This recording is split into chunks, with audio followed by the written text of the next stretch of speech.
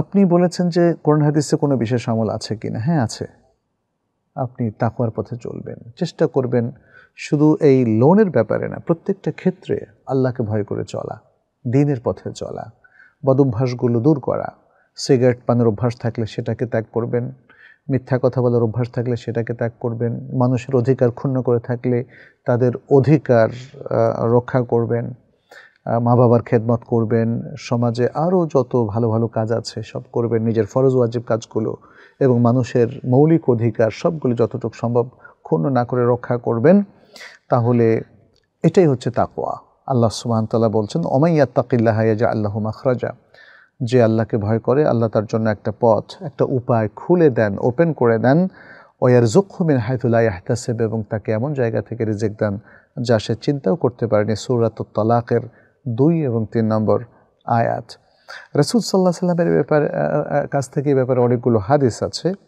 যেমন একটা হাদিস এভাবে এসছে, যেটি আবু দাউদ তিরমিদি সহ আরও অনেকে বর্ণনা করেছেন, শেখ আলবানী শুদ্ধ বলেছেন যে তিনি বলেন মাইয়াস্তা আফিফ ইউইফাহুল্লাহ যে ব্যক্তি নিজেকে সৎ রাখে, আল্লাহ তাকে সততার উপর রেখে দেন। সৎ করে, আফিফ করে তাকে রাখেন।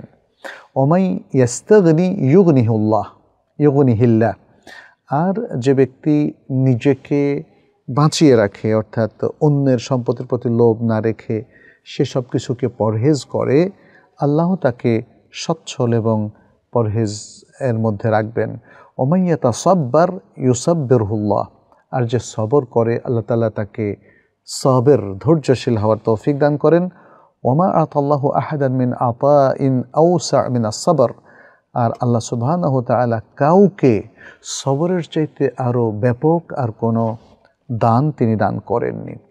তো সুতরাং আমরা বুঝতে পারলাম যে যদি আপনারা কষ্ট করে নতুন কোনো সুদভিত্তিক লোন না নিয়ে অন্যভাবে চেষ্টা করেন, আল্লাহর কাছে দোয়া করেন তাকে অবলম্বন করেন, তাহলে আশা করা যায় যে আল্লাহ আপনাদেরকে এই ব্যাপারে সাহায্য সহযোগিতা করবেন এবং আপনি যেটা বলেছেন আর কোনো আমল আছে কি না সে আমলগুলোর মধ্যে আমরা খুব সংক্ষেপে বলব।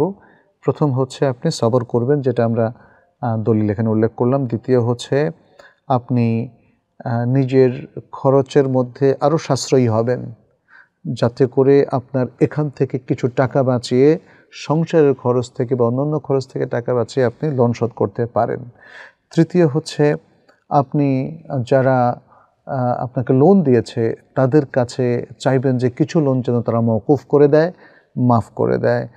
এবং তাদেরকে বলবেন যে আপনি প্রায় অক্ষম হয়ে পড়েছেন, কারণ অক্ষম হয়ে পড়লে হয় তাদেরকে সময় বাড়িয়ে দেওয়া হয়, অথবা তাদেরকে ক্ষমা করে দেওয়া যারা যারা পাওনাদার তাদের পক্ষ থেকে।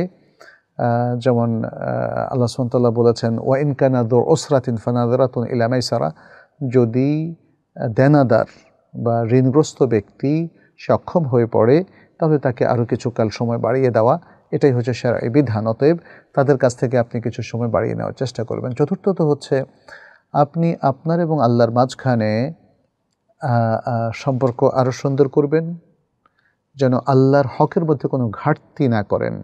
আল্লাহকে আপনি চিত না করেন, আল্লাহর ফরজ ওয়াজিবগুলোকে সঠিকভাবে পালন করেন, তাহলে যেন আল্লাহ আপনার ও মানুষের মাঝখানের যে প্রবলেমগুলো আছে সেটাকে আল্লাহ সুমতাল্লাহ যেন সলভ করে দেন। এবং সে ওয়াদা কিন্তু আল্লাহ সুমতাল্লাহ করেছেন সুরা নাহাল এবং একটু আগে যে সুরাত তলাকের দুই তিন আয়াত নম্বর পড়লাম সেখানে তো আছেই।